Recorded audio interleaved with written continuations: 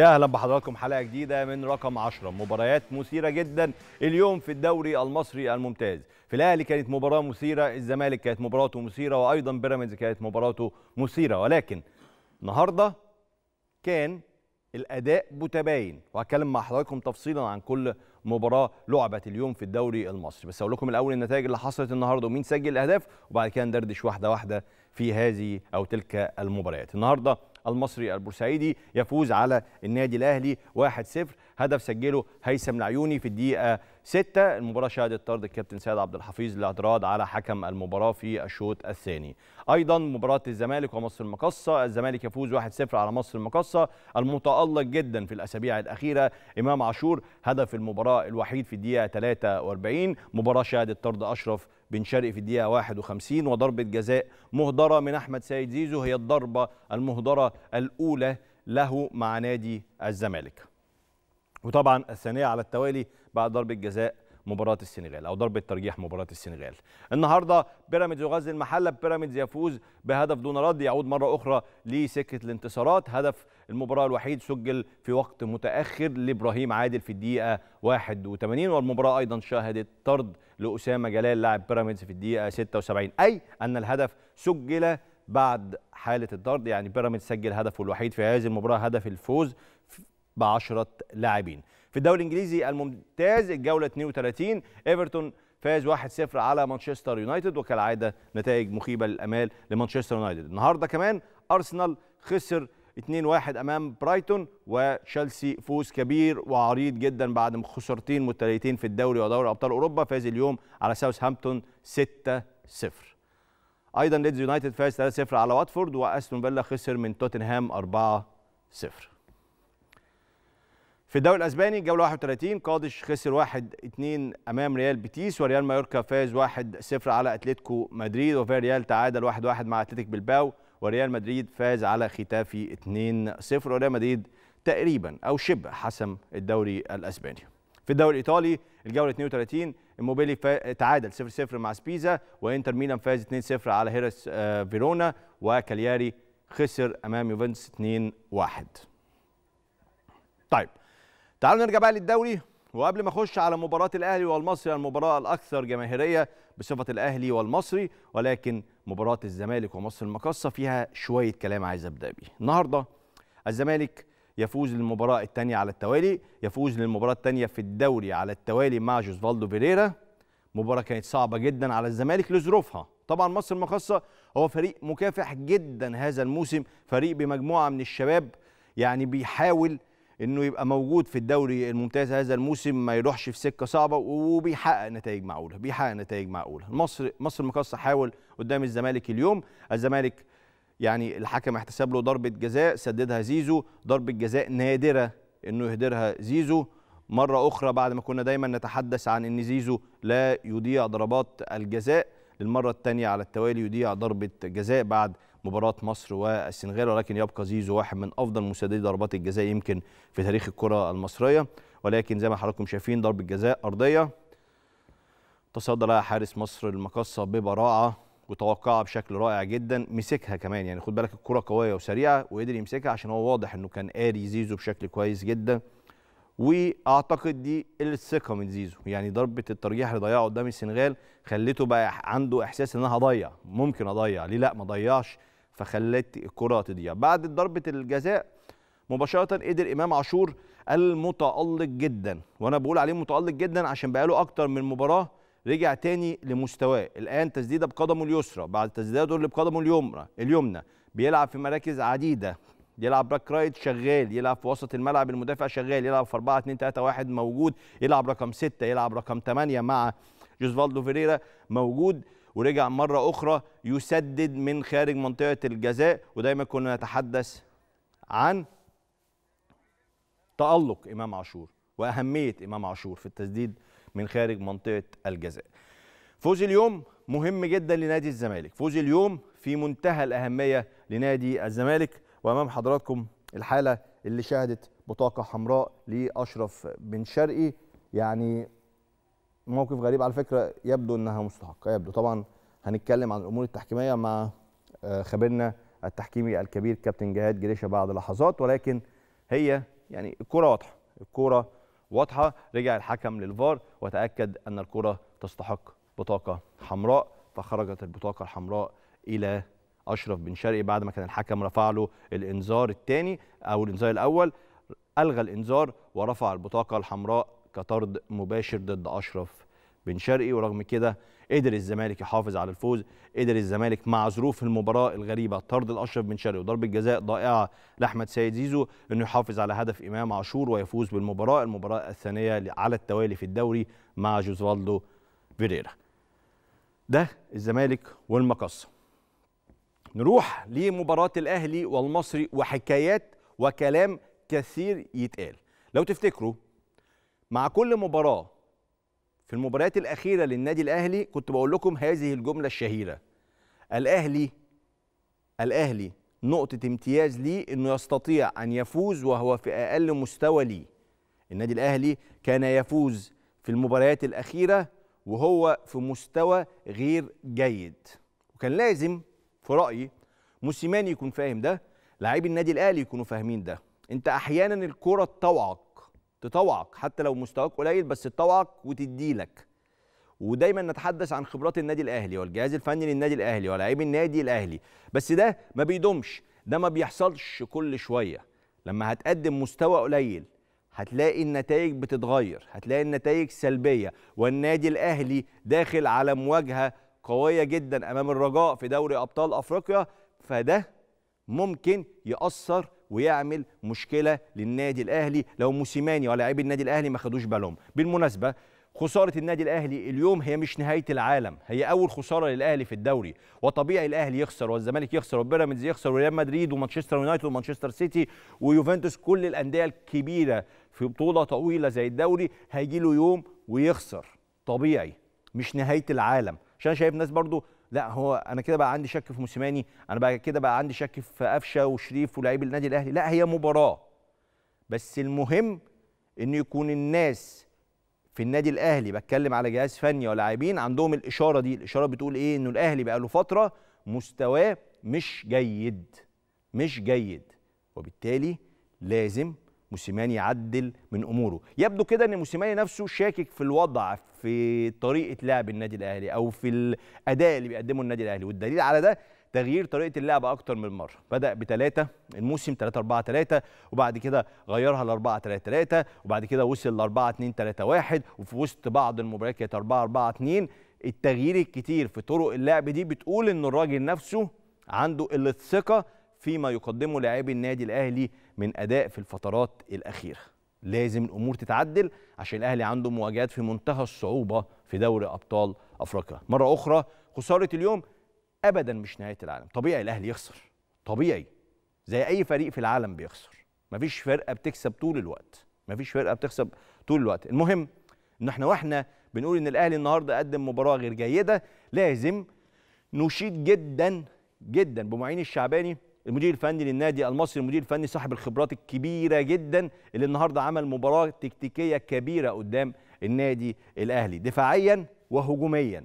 والنادي المصري كان ممكن يحسم المباراة من الشوط الأول بهدفين وممكن أكتر. وسنحت ليه فرص والشناوي شال انفراد صريح في الشوط الأول وكان في انفراد آخر في الشوط الثاني وبعض الفرص للنادي المصري. الناحية الثانية النادي الأهلي فرصه كانت شحيحة جدا كرة يعني هي اللي ممكن تقول عليها كانت خطيرة بشكل حقيقي الكرة بتاعت آه عمرو السولية قبل نهاية المباراة التصويبة اللي من من بعيد جدا من خارج منطقة الجزاء اللي قدر الحارس يطلعها ضربة ركنية.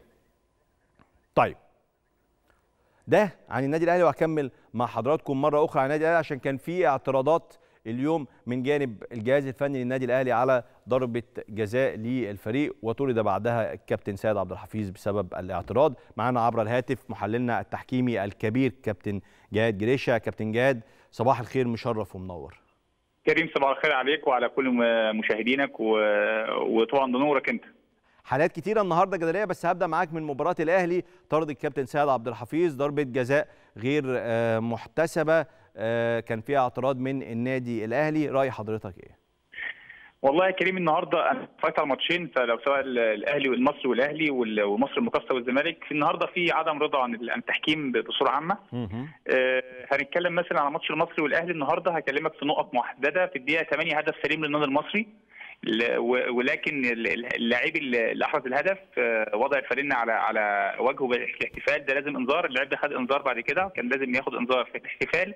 ولما خد انذار كان الانذار الثاني لو هينطرد فيه آه يعني في- بتتكلم إنه آه، كان يستحق الطرد اتفضل. في هذه المباراة آه يعني هو الراجل كان خد انذار بعد كده بس هو في احتفاله بالهدف حط التيشيرت على احتفال وضع التيشيرت على وجهه ده في الاتحاد الدولي ده انذار. مستحق ما, ما خدهوش وخد انذار بعد كده كان هيستحق طرد في انذار مستحق لايمن أشرف في الدقيقه 19 في ركله جزاء للنادي الأهلي في الدقيقة 31 مم. دافع بالجسم يا حضرتك بس الأول واحدة واحدة كده. حضرتك الشوط بتقول لي الأولاني. أستاذ كابتن جاد حضرتك بتقول دلوقتي. إن هيثم العيوني اللي هو سجل هدف في المباراة بعد ما رفع التيشيرت على وشه كان هياخد إنذار وهو خد إنذار آخر في وسط المباراة. فهيثم العيوني كان يستحق. لأن احتفاله بالهدف آه. حط التيشيرت على على وجهه ده ده ده تعليمات الاتحاد الدولي ده لازم إنذار. في الاحتفال بالهدف وضع التيشيرت على على وجهي ده إنذار مستحق. مفيش فيه جدال. ده الحكم طبعا ما حدثبوش تمام. في لعبة في الأهم بالنسبة لي آه، لعبتين ركلتين جزاء للنادي الأهلي في الدقيقة مهم. 31 في ركلة جزاء لمحمد شريف لم تحتسب. اللي هي خد محمد شريف الكرة في صدره بصدره واللاعب ال- ال- المصري دافع بالجسم الدافع مش شرط بالايد يا كريم في دافع اسمه دافع بالجسم وده حصل في اللعبة ديت وركلة جزاء لم تحتسب. هو تواصل مع حكم الفار لكن حكم الفار اللي كان موجود ما كانش عنده قناعة باللعبة. في لعبة ثانية بتاعه آه، حسام حسن. دي آه، في الشوط الثاني وكان ماسك دي سبب اللعبة اللي بعدها كابتن كابتن سيد العزيز اعترض وانطرد بعد كده ده ماسك آه، تقدم الخصم ماسك كامل من من لاعب النادي المصري لحسام حسن. وكان دي لازم يت- يتم استدعائه من حكم الفار ويشوفها ودي ركلة جزاء صحيحة ثانية للنادي الأهلي لم تحتسب النهارده في المباراة. هكلمك برضه يا كريم في نفس في نفس المباراة في آه، ركلة حرة مباشرة للنادي الأهلي والغاء هدف للنادي المصري كان قرار سليم من حكم المباراه آه كان في في دهس أو أو دوس على آه، رجل قفشه وكان القرار مظبوط والغاء الهدف كان سليم في في- في اللعبة دي. آه، يعني أنا بتكلم على مجمل المباراه ركلتين جزاء في المباراة للنادي الأهلي و... و... وطرد كان فيه للنادي المصري للنادي المصري وفي لعبة كمان لمحمد كانت مهمة جدا في في الدقيقة 52 مم. اللي هي آه، كان الأهلي بيطالب بركلة جزاء لما آه، لاعب النادي المصري آخر لاعب آه، ركله في إيده الركلة في الإيد ديت كانت بره منطقة الجزاء مش جوه منطقة الجزاء كان لازم في استدعاء من حكم الفار. لانها كانت ركلة حرة مباشرة للنادي الأهلي وطرد مباشر لأن كان فيها انفراد لمحمد شريف بالمرمى وبالتالي مباراة المصري والأهلي النهارده التحكيم غير مرضي وكان في يعني الناس حتى شكت إن في فار موجود في المباراة وده كان التعليل الأكبر في المباراة النهارده إن في أخطاء كتيرة جدا يعني الملخص الملخص بتاع كلام حضرتك إن الأهلي كان يستحق ضربتي جزاء اليوم وطرد اللاعب المصري هيثم العيوني. بالظبط. آه، لو في وقت مع حضرتك كلامك على ماتش مصر المقصه والزمالك. طبعا يا فندم اتفضل. ماتش مصر المقصه والزمالك النهارده ركلة جزاء اللي في الدقيقة 6 تم احتسابها نادي الزمالك دي. ركلة جزاء غير صحيحة لأن صحيحة. يد اللاعب ال- مصر مصر المقصه كانت. آه، هي أي نعم هي أي نعم تم تم إدارها بس بنتكلم كلعبة تحكيمية. آه، لاعب نادي مصر المقصه إيده ما خرجتش من جسمه وضع. طبيعي وما كبرتش الجسم وبالتالي لم تيد لم تتد آه موجودة ولكن لا تحتسب لمسه يد لأنها غير متعمدة وبالتالي ركلة جزاء غير صحيحة تم احتسابها نادي الزمالك.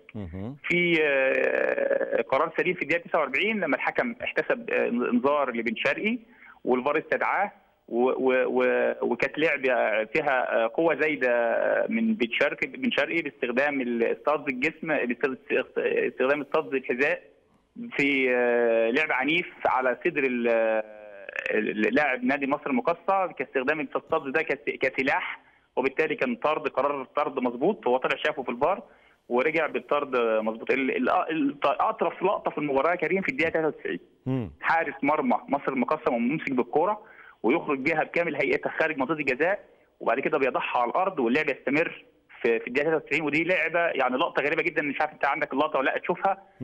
الحارس. ماسك الكورة في إيده واللعب اللعبه مستمر. وخرج بالكوره وخارج منطقة الجزاء وبعدين وضع الكوره على الأرض بدون احتساب خطأ على الحارس خارج منطقة الجزاء ممسك بكورته خارج منطقة الجزاء. في لعبة طريفة جدا النهارده شفناها في المباراة وبالتالي أنا النهارده آه، من من من متابعتي للماتشين آه، في وقت واحد آه، كان الأداء غير مرضي في- عن التحكيم النهارده في الماتشين الاثنين.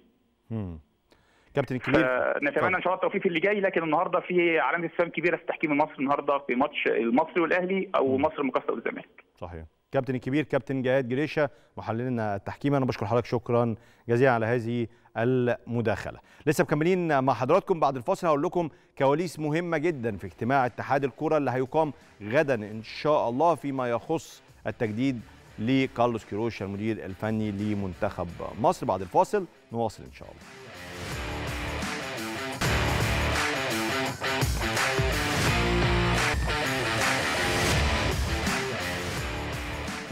يا أهلا بحضراتكم مرة أخرى. بكرة أو يعني خلاص النهارده كمان ساعات هيبقى في اجتماع لاتحاد الكورة عشان يحسموا فيه أمر كارلوس كيروش. الحسم الأمر ده في إيه؟ مش إنه هيبقى أو مش هيبقى. هيبقى خلاص كارلوس كيروش مع منتخب مصر. ده الاستقرار اللي حصل في اتحاد الكره أو القرار اللي استقر عليه اتحاد الكره الخلاف دلوقتي أو النقاش دلوقتي هل يتم التجديد لكارلوس كيروش حتى 2024 أم لحد 2026 دي الحكاية اللي هيناقشوها بكرة أعضاء اتحاد الكورة. 2024 يخلص عقد كارلوس كروش الجديد مع منتخب مصر ولا يخلص 2026 مع نهاية تصفيات كأس العالم والوصول لكأس العالم 2026 إن شاء الله. ده اللي هيكلموا فيه.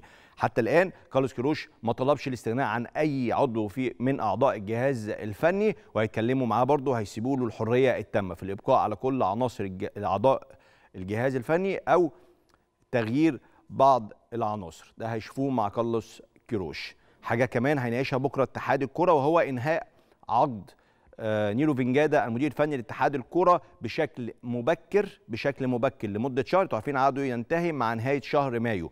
ممكن يخلصوا العقد دلوقتي عشان هم عايزين يوفروا شوية مصاريف الفندق اللي يق... اللي بيقيم فيه نيرو فينجادا وبيكلف اتحاد الكره ما يقرب من 15000 دولار تقريبا شهريا. فيقول لك لا إحنا نديله راتب الشهر ده ويتفضل خلاص كده تنتهي مهمته مع الاتحاد المصري خاصة إنه مش هيقدم أي شيء في خلال الشهر ده فنوفر أحسن فلوس الفندق في الفترة اللي جاية. دي الكواليس اللي هتحصل بكرة في اجتماع اتحاد الكرة بكرة مش هيبقى فيه إعلان عن قرار التجديد لكارلوس كيروش. هم مستنيين قرار الاتحاد الدولي لكرة القدم بشأن الشكوى اللي قدمها الاتحاد المصري فيما يخص مباراة السنغال زي ما أعلن قبل كده.